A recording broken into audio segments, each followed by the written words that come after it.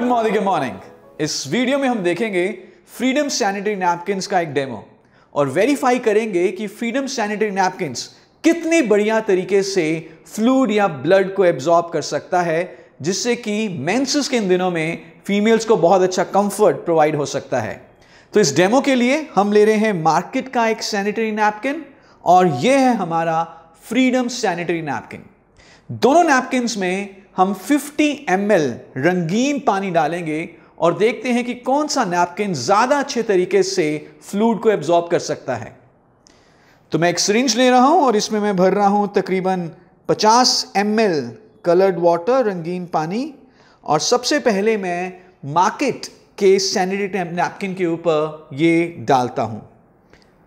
सो आप देखेंगे कि जैसे जैसे मैं इसको डाल रहा हूँ it takes a second before it goes inside the napkin और अब इसकी एब्जॉर्प्शन बहुत स्लो हो चुकी है।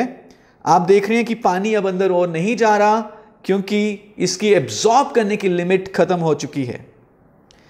कितना अनकंफर्ट महसूस करती होंगी वो फीमेल्स मेंसेस के दिनों में, जब वो कुछ ऐसे नैपकिन यूज़ करती हैं ड्राइनेस मेंटेन नहीं हो सकती, और अगर ड्राइनेस मेंटेन नहीं है तो हाइजीन भी मेंटेन नहीं रहेगा। अब हम डालेंगे यही फ्लूड तकरीबन 50 एम एल मोदी केयर के फ्रीडम सैनिटरी नैपकिन में, देखते हैं क्या फ़र्क होगा। Modi care freedom sanitary napkin में है eight layers of absorption and protection ये बहुत आसानी से फ्लूड को एब्जॉर्ब कर लेता है ड्राइनेस मेंटेन रखता है आप देख रहे हैं कि कितना ईजिली ये सारा पानी इसके अंदर जा चुका है।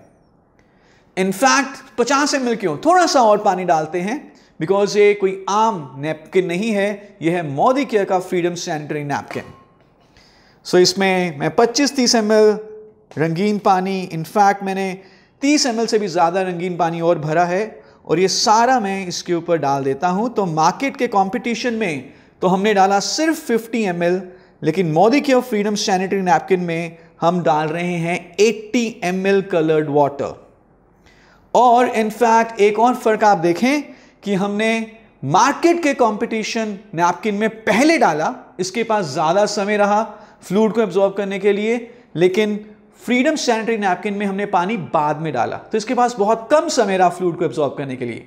लेकिन अब हम वेरीफाई करेंगे कि इनमें से किस नैपकिन की एब्जॉर्प्शन पावर ज़्यादा है। तो ये देखने के लिए हम लेंगे दो टिश्यू पेपर्स और ये टिश्यू पेपर्स हम इन नैपकिन के ऊपर रख देंगे और इक्वल फोर्स के साथ हम इसको प्रेस करते हैं देखते हैं क्या होता है। सो so, मैं इक्वल फोर्स दे रहा हूँ। दोनों नैपकिन के ऊपर। और आइए अब हम टिश्यू पेपर उठा के देखते हैं कि क्या फ़र्क है। जो मार्केट का सैनिटरी नैपकिन है, उसके ऊपर टिश्यू पेपर एकदम गीला हो चुका है। बिल्कुल भी ड्राइनेस नहीं है, एकदम गीला है, जो ये दिखाता है कि मार्केट का सैनिटरी नैपकिन ने फ्लूड को अच्छे तरीके से एब्जॉर्ब नहीं किया। आप देख रहे हैं टिश्यू पेपर एकदम गीला है। इनफैक्ट मेरा हाथ भी एकदम गीला हो चुका है।